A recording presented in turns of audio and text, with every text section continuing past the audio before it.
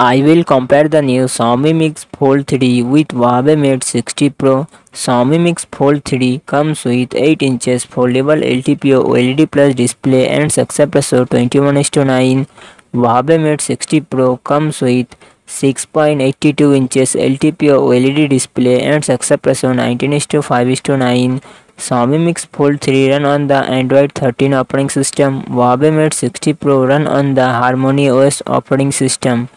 Xiaomi Mix Fold 3 it comes with 12GB 16GB RAM and 256GB 512GB 1TB internal storage Qualcomm Snapdragon 8 Gen 2 processor and GPU Adreno 740 Huawei Mate 60 Pro it comes with 12GB RAM and 256GB 512GB 1TB internal storage HiSilicon Kirin 9000S processor and GPU 910 Xiaomi Mix Fold 3 real set quad camera setup fifty mega megapixel plus ten mega megapixel plus ten mega megapixel plus 12 megapixel and front camera twenty mega megapixel